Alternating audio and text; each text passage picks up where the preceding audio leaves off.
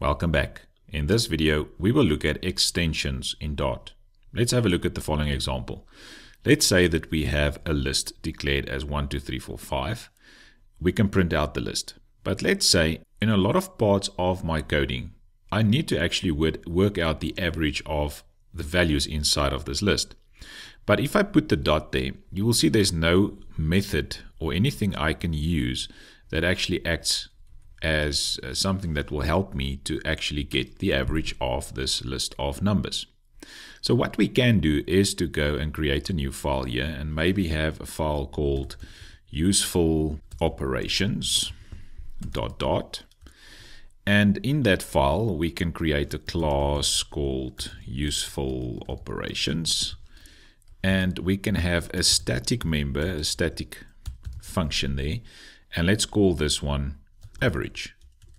But this average will return back a double, and that's the method, and it will accept a list of type integers, and let's call it list. Now it will give me an error because we need to return back a double, so we'll get to that now. So what we're going to do is, you're going to pass in the list, and then we're going to have a for loop.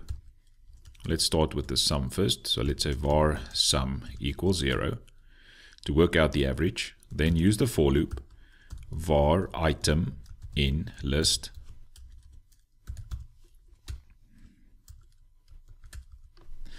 And then what I want to do is to say sum plus equals the item. And that will count or basically add all of the items the value to the sum and where sum starts at zero. And then when we are done with the for loop we can return back the average. And the average we work out by saying it's the sum divided by all of the values, which will be list dot length. Right, so this is how we can work out the average. And if I save it and go back to my example, if I now want to print out the average, I can just go and say, let's go to the class called useful operations, put the dot, use the average method, and pass in the list. And now if I print it out, it will give me the average of those values as 3. So what happened? We passed in the list. Uh, you'll see if you choose useful operations, it will import it at the top, useful operations. So we used this class, the method average, we passed in our list, we ran through the list, we worked out the sum, and then we worked out and returned the average. So this is how you can actually create an average function and then use it this way. And this is also nice for code reuse because it's in a separate file. It's only used once and every time you want to work out the average of a list, you can just call that method. Now another way of doing this is making use of extensions. And this means I can actually go and do something like this. Instead of saying uh, go to a specific class and get a function there, I want to go and say list dot something and then my method should pop up here. But because I am not the person who created, if you uh, hover over this, you'll see it's a list class. I am not the person who created this list class. So I can use an extension to add some value to this list class. So let's look at an extension quickly. So to create an extension, you will use the extension keyword and you need to give your extension a name. So I'm going to name this one list average. And then you need to say on which class do you want to go and make changes. And I want to go and make changes on the list class where the list accepts integers. So basically, I want to add a method now to the list class, but only when the list contains integer values. Right, so now what I can do is to go and say, well, let's do that average method again. I will have double average, actually exactly the same as we had previously. So let's go to useful operations. This whole average method there's the opening and closing brackets. We're not going to have it as static, so I'm just going to copy it as it is, and it will look like this. So basically what I'm saying is double average, but in this case, I will not get in the list as an argument because what I want to do is go and say list dot, and I want to use the average now. And you can see it picks it up. Although it's not, it's not going to work because there's a lot of errors in there. So we're going to say list.average, and it's now referring to this average method. So there is an object list that is calling the method. So when we work out the average, we will not pass in something, we will call a method. And we want to just work out the average because we already know it's this list. So we don't need to pass it in as well. It's the one that calls the method. So I'm going to say var sum equals 0, var item in. Now this list is not defined. So instead of saying list, I'm going to say this. So what is this? This is the thing calling the method. It's the list. So this list is the one that I want to run through.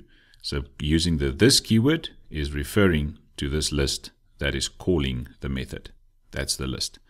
So I'm saying var item in this, the thing calling the method, and I'll say sum plus equals item, and then I can say return sum, and instead of saying list there, again use this dot length. And then it's working.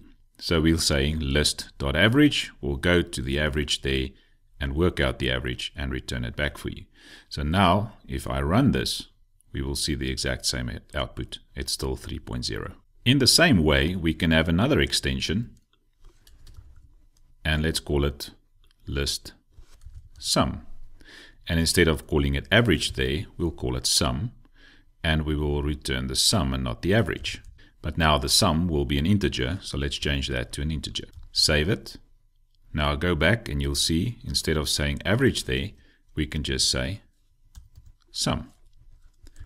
Run it again, and we'll get the sum of all values. So extensions is a way to add some methods or functionality to an existing class without needing to use extends to inherit from that class which means the type will still stay the same. So the list type is still type list. It's not your own type of list class that you created. It's still of the same type, but you are adding functionality to it using extensions.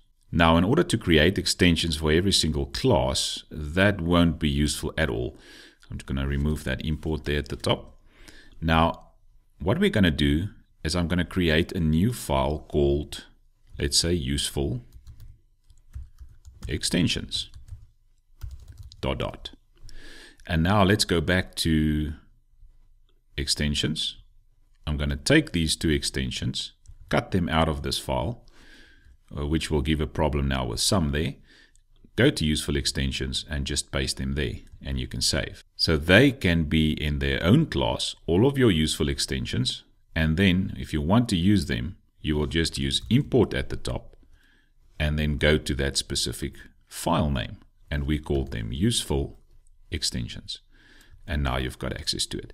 So in any class that you want to use those extensions then, you can just have your import for the file name at the top, and then you can use it as you want. That's it for extensions. See you in the next one.